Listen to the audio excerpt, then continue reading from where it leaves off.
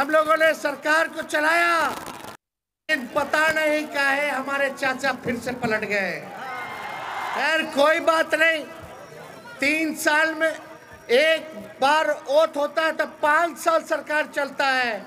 लेकिन माननीय मुख्यमंत्री जी ने अभी साढ़े तीन साल हो रहा है, तीन बार ओथ ले लिए। बताओ, ऐसा कई देश में हुआ है।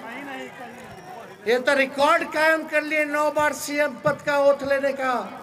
लेकिन सवाल ये है कि आज सब लोग नौकरी के बारे में बात कर रहा है।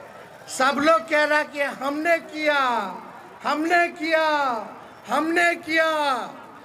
एक सवाल आप लोगों से हम पूछना चाहते हैं।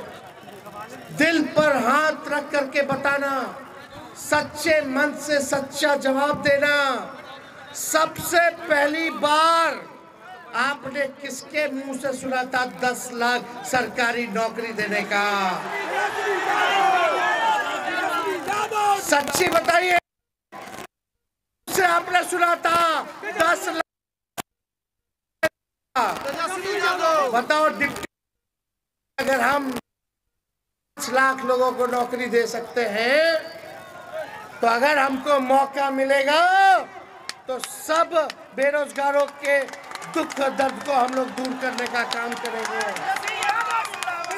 हम नौजवान हैं, नए सोच के हैं, नया बिहार बनाना है। अब मेरा मानना है कि माननीय मुख्यमंत्री जी, हमारे लिए आदरणीय थे, हैं और रहेंगे। बुज़ुर्ग हो चुके हैं, पुराने ख्यालात के हैं। ना कोई विजन है, और ना गठबंधन बदलने का कोई रीजन है। अब उनसे बिहार चलने वाला नहीं है। नए लोगों को मौका मिलना चाहिए ताकि आपके सुनहरे भविष्य को देखते हुए काम करे। बिहार को अव्वल राज्यों में लाने का काम करे। और हमने आगाज़ कर दिया है कि बिहार को विकसित राज्य में लाना है। रोज़गार, दवाई, पढ़ाई, सिंचाई, कमाई की बात करनी है। सामाजिक न्याय के साथ साथ आर्थिक न्याय दिलाने की बात करनी है, इस काम में हम लोग लगे हुए हैं तो हम तो चाहेंगे कि इस जन विश्वास यात्रा में आप सब लोगों का साथ मिले, आप सब लोगों का आशीर्वाद मिले, आप सब लोगों का प्यार मिले तो मिलेगा कि नहीं मिलेगा? मिलेगा ना?